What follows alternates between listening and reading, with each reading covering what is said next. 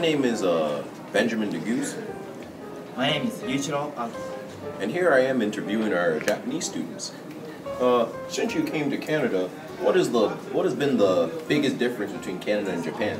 あそうですね、えーっと学校の中では、まあ、上履きという靴に履き替えることとあとカナダは、まあ、日本は日本人だけなのでカナダは いろんな人種がいて、まあ、いいですね Okay. Here I am with my other Japanese friend here.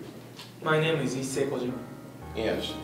Uh, what has been the difference, the biggest difference between the weather between here in Canada and in Japan? あー日本はとても寒いです。でも、えー雪はあまり降らないです。それと夏は、えー台風とても暑くて台風が来る季節でで雨がたくさん降ります。Okay. Okay.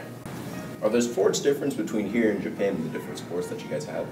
そうですねホッケーはあの日本カナダと違って日本では有名ではないですあと,、えっとえー日本では剣道と呼ばれるあのフェンシングと似たようなスポーツが盛んでまあ侍スタイルですね Okay. Okay.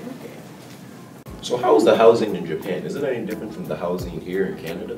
Uh, smaller and simpler because uh, most of the time is spent outside, uh, outside of the house and not not at the home, um, in front of TVs. I understand that. Okay. So since you've been to Canada, have you experienced the difference of food like in Japan, or is it the same? Yes, very. In Canada, they eat very little rice and fish. Uh, we are in Japan, that is me- uh, everyday meal. Okay. Yeah. So since you came to Canada, what has been your favorite food? Uh, my favorite food uh, in Canada uh, is tacos. Okay. that's Yeah. good. So in Japan, what do you guys do for fun as like kids?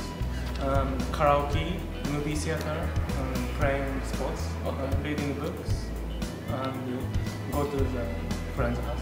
Okay. Yeah, so it's pretty much the same thing that us Canadian kids would do too. It's all the same. That's good. Let me interview you two. Saya.